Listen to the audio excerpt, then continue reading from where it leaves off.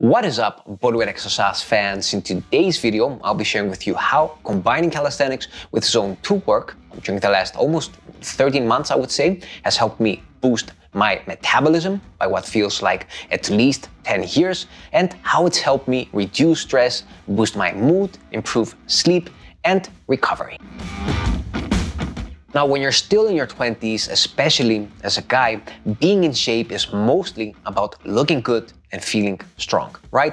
Which I would say are things that are easily accomplishable if you stick to a decent diet and you're consistent with a strength training routine. This was probably the case with me as well, which was great since uh, when I was young, you know, I didn't care so much about cardio or long walks. As a matter of fact, I, I was never a big fan of cardio uh, which just seemed too boring compared with my calisthenics routine, which was, I would say, uh, effortlessly enjoyable. As you grow older, though, things begin to change. You've got more responsibilities, uh, less free time, uh, more stress. Uh, it's more difficult to get decent sleep. You spend more time being sedentary. And these are all things, of course, uh, in combination, especially, that can slow down muscle growth and recovery rates while, you know, making staying and getting lean even more difficult. And although, of course, strength training makes things better, uh, there comes a point when you feel that you need something extra, you know, not only to stay lean, uh, but also to decompress from life's overall pressure. So this is when I started supplementing my calisthenics routines with sprints, I would say around age uh, 32, 33. Uh, sprints are an excellent way to add uh, lower body work into a bodyweight program. They're a great way to work on speed and agility, which are important uh, to maintain as you grow older. They're an excellent way to blow off some steam. Their limitation, though, is that you can't do them that often since they take a lot of time to recuperate from, especially as you start moving towards your 40s and beyond. Doing two sessions per week combined with a calisthenics routine or any basically strength training routine uh, is great, but adding more than that will take a toll on your recovery eventually. And that was the point when I realized that I had to find a way to reevaluate my thoughts and emotions regarding cardio and uh, to do my best to add at least a little bit of zone 2 into my weekly training.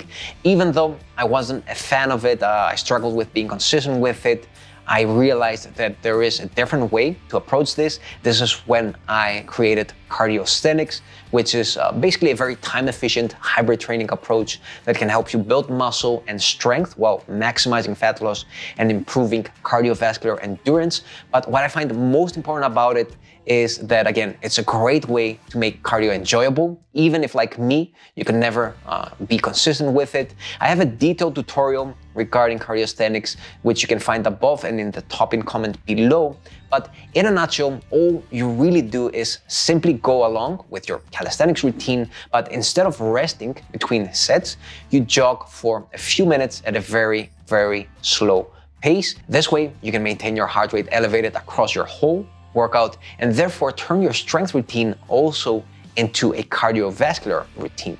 Now, uh, within a month of incorporating cardiosthenics, I started slowly noticing that my sleep was getting better. I was managing stress more effectively. Uh, it became my go-to workout when I had some racing thoughts to calm down. And I even got leaner without uh, making any further nutritional interventions, uh, which I'll talk more about soon in this video. Plus, after about six to seven weeks, as my body uh, got uh, more and more adjusted to the extra uh, training volume, to the extra cardio that I've added, uh, not only did that not get in the way, but uh, it actually started helping me recover faster. And I even noticed that little nagging pains that I was having uh, during that time, specifically some sensitivity with my biceps, you know, something that uh, looked a little bit like bicep tendonitis, even that subsided, which brings me to my next point.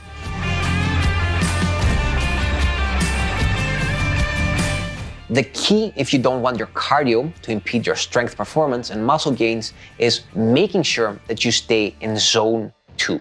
In simple words, zone two is a pace that you can maintain without running out of breath while also uh, holding a casual conversation if you had to.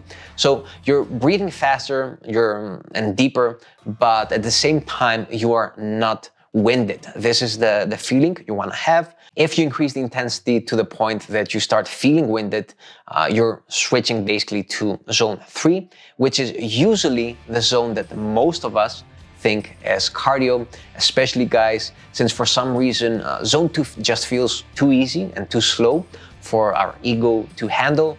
Uh, we basically have this inner no pain or gain notion that if exercise doesn't feel uncomfortable, it's not doing anything. And uh, as a result, most of us skip over zone 2 since it feels deceptively easy. Not that zone 3 is bad for you, but you have to keep in mind that it's a lot more expensive recovery wise.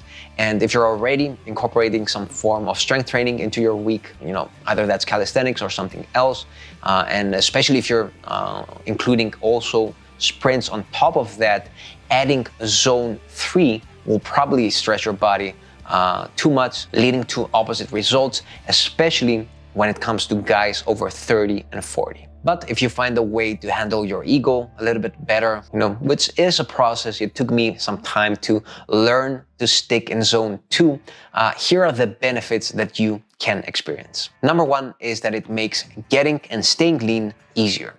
Of course, you know, having a decent diet in place and uh, making sure you're getting the right amount of calories is something you can't avoid when you want to uh, lose weight, when you want to get rid of fat, when you want to recomposition, uh, when you basically want to look good, but adding some extra movement on top of a proper diet and a strength training routine versus being too restrictive with your caloric intake can make things a lot easier as you get older. There are numerous reasons this happens, and uh, you know one of those is the obvious one that you're moving more, so you're burning a little bit of extra calories. But another big one is how your body handles energy at a cellular level, since zone 2 is a great way to keep your mitochondria young.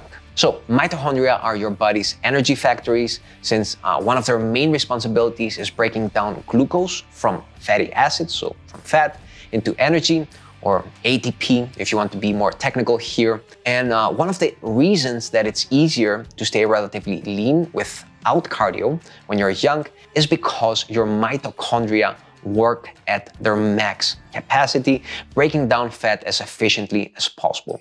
Uh, this is something that slowly begins to change after 30. You know, this is when you have also uh, a decrease in skeletal muscle uh, and your mitochondria density and function slowly begins to uh, decrease. You know, this is why your body is less efficient at breaking down fatty acids for energy also known as metabolic flexibility. In other words, uh, exercise is not just about burning those extra calories through extra movement, it's also about maintaining your body's ability to break down fat as efficiently as possible. Still, the good news is that there is a way to reverse all this, to some extent at least, if you find a balanced way to combine strength training with some high intensity training and a moderate amount of zone 2 training. Small parenthesis here, if you feel that there's no possible way in the universe that you could ever befriend cardio, there is an alternative here. What you can do is you can replace uh, zone 2 with zone 1. I've made a video about this, how to combine strength training with zone 1 to stay lean.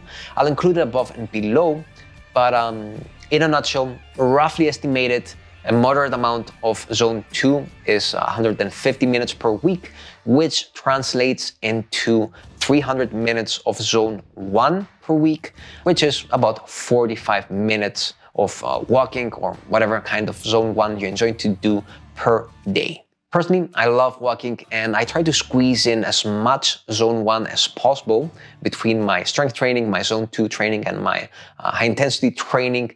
But the thing is that zone 1 can be quite time consuming uh, for most people and uh, therefore, if you want to be as efficient as possible, zone two and especially calisthenics is the way to go. Benefit number three is that zone two keeps your heart healthy. Everybody knows that, and the way it does that is by uh, having your heart require less pumps to deliver more oxygen and blood throughout your body.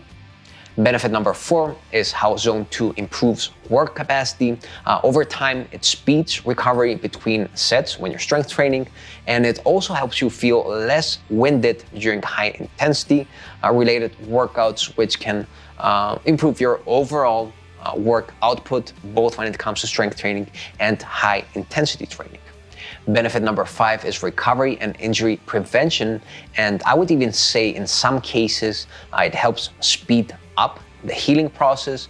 Uh, basically, zone two is intense enough to increase blood flow, therefore delivering nutrients and removing waste products from uh, the body faster, while at the same time it's gentle enough so that it doesn't compromise recovery. In other words, it's a great way to promote what is known as active recovery, which in some cases can also speed up the healing of sensitive areas such as your joints and connective tissues.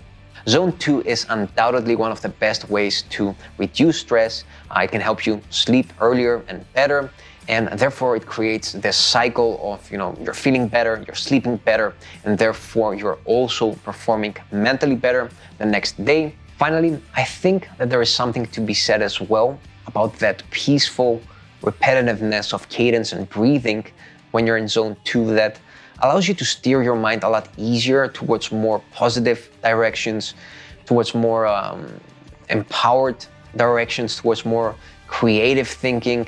This is why I like to practice such stuff uh, a lot when I'm doing zone two. You know, I like to do uh, visualization techniques uh, or to practice gratefulness. This has been my experience with zone two over the last 13 months. If uh, you've never been a fan of it, I hope that today's video will motivate you to at least give it a try. I highly recommend starting out with cardiosthenics, if you uh, find it a struggle to uh, get into cardio, I'll include again my tutorial on cardiosthenics below. That was all for today. If you're interested in training with me, you can always come in contact. There is a uh, link below where you can um, send me an email. If you're new here, subscribe. Bodyweight Muscle is a calisthenics approach to fitness, uh, to getting strong and lean without going to the gym while keeping things simple, practical, and effective. If you're also interested in uh, me creating a part two of this video where I help you set up this kind of uh, a weekly routine, so a weekly program that combines strength training, um, zone two work, high intensity work, and uh, maybe also a little bit of zone one, let me know and uh, I'll start working on that soon. So that was all for today again, until next time, keep on training.